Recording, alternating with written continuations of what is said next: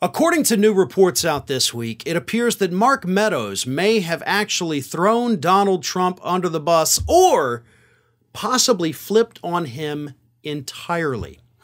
Here's what's happening. Mark Meadows, it was reported by ABC News, of course, based on some, you know, unnamed sources, but these unnamed sources claim that Mark Meadows told Special Prosecutor Jack Smith and his wonderful grand jury that he has no recollection whatsoever of Donald Trump declassifying any documents. Like, that's not a thing that happened, Mark Meadows said, at least as far as he knows.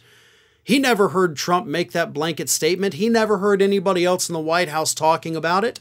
It didn't exist for all he knows. Ow. That may not seem like much, folks, but Donald Trump's entire defense in the documents case is hey, I declassified these. I was totally allowed to do what I did. And if he's got people like Mark Meadows, his right hand man at the time of this, at the time these documents were taken from the White House, and he's telling prosecutors, like, yeah, that didn't happen. It's about as strong of a witness as you can get. And it gets even worse, too, because we also had Vice President Mike Pence come out within the last few days and effectively say the exact same thing like there was no standing order for declassification. This this wasn't a thing. it, it is a completely made up defense that nobody in that White House would be able to verify. And that's where Trump, of course, has the problem. But the funnier part is that we don't need Mark Meadows to tell us that Trump didn't do this. We don't need Mike Pence to tell us Trump didn't do this because we already have Donald Trump on tape telling us that he didn't do this. He didn't declassify. Those are literally the words. I could have declassified at the time, but I didn't.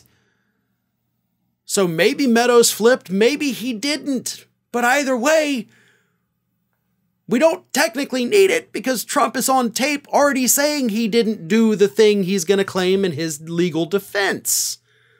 But it never hurts to have more witnesses, right? I mean, if you can bring five people up to prove your point instead of three, bring on the five. You want to hammer these points home as much as possible at trial.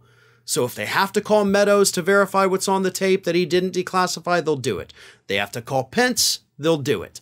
They have to call any other White House employee to come say the same exact thing, they will do it because that's how you cement that point to that jury.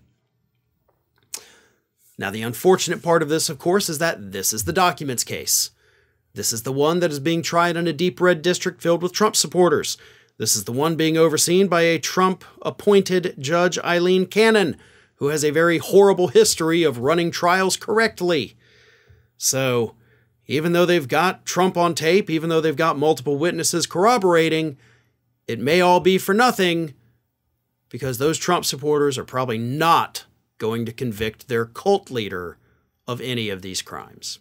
Ring of Fire has fresh content seven days a week, so if you want to be reminded about it, don't forget to subscribe to the channel, hit the little bell to be notified every time a new video goes up.